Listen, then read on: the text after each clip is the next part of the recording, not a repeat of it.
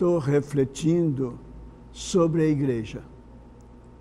Já há alguns dias é o meu pensamento.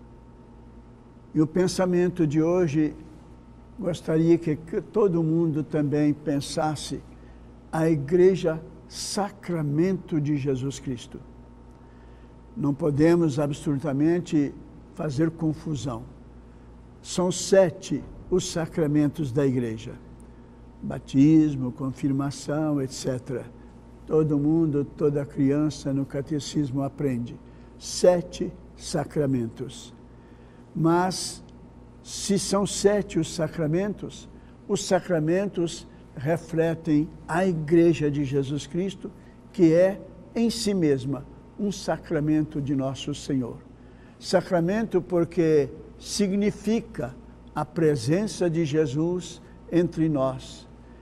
É Jesus Cristo no nosso coração, o Espírito Santo em nós, em nossos corações. A igreja é o próprio sacramento, é o sinal, nós dizíamos sinal, sinal sacramental, que torna visível a igreja de Jesus Cristo. Ela é um sacramento de Jesus.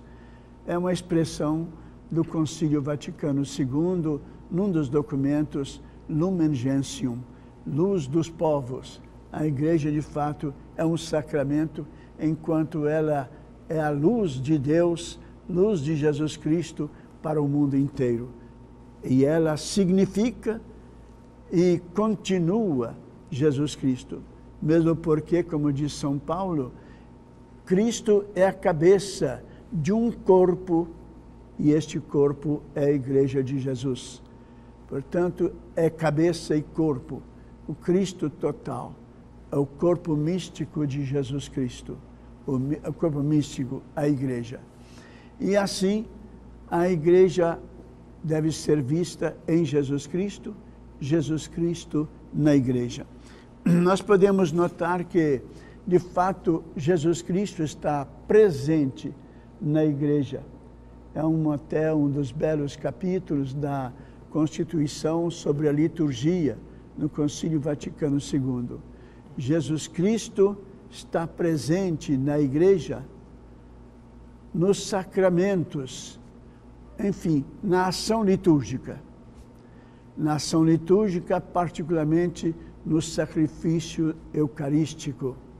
Ali está Jesus Cristo representado, tornado presente, o feito presente na pessoa do sacerdote que consagra o pão e o vinho. E nas espécies sacramentais, ele de fato torna presente Jesus Cristo com seu corpo, sangue, alma e divindade. Jesus Cristo está presente no sacerdote, mas está presente de modo especial, sobretudo, é, nas espécies sacramentais que foram consagradas, portanto. Jesus Cristo está presente porque é Ele que se oferece na Santa Missa e Ele que oferece o sacrifício. O Padre o representa, o torna presente visivelmente. E assim está presente Jesus Cristo na liturgia, presente na palavra de Jesus. É Ele que fala quando o Padre prega na igreja e que responsabilidade é nossa de sermos fiéis ao que Deus fala, ao que Jesus Cristo ensinou. Fiéis nas nossas expressões, transmitindo sempre o pensamento de Jesus Cristo, a palavra dele. Presente não só na sua palavra, mas em todos os sacramentos. E presente também, porque não, na própria oração da igreja a igreja tem a sua oração oficial e reza a igreja na nossa pessoa também. Deus e Jesus Cristo está presente.